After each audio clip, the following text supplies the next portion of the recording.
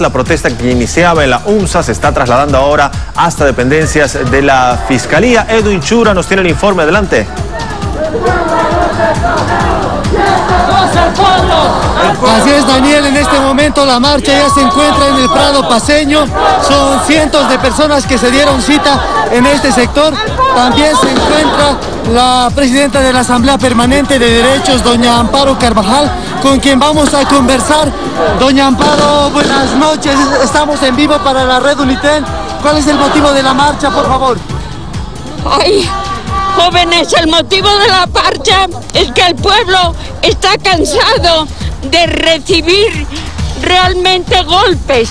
Y ya no queremos más golpes, ya hemos luchado por buscar la verdad, por decir quiénes son los culpables, el, la falta de respeto a nuestra constitución, a nuestras leyes.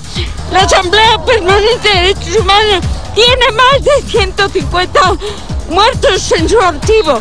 No son 10 ni 20 de secata ni de sacar ni de sacar. Son cientos de muertos que tenemos en nuestros archivos en esta democracia que no se llama democracia, que es una de las dictaduras más tristes que he vivido en mis 50 años en este pueblo.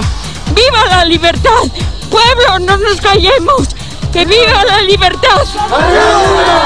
Escuchábamos las palabras de doña Amparo Carvajal, representante de la Asamblea Permanente de Derechos Humanos, quien también se encuentra en esta marcha, que en este momento se encuentra en el Prado Paseño, con dirección a la Fiscalía para también hacer una protesta en rechazo a las aprehensiones y que se dieron en los últimos días, compañeros. Gracias, Odin. Vemos en este momento lo que sucede entonces en esta movilización que partió desde la UMSA, donde fue convocada por la gente del CONADE y se dirige ahora hasta la Fiscalía.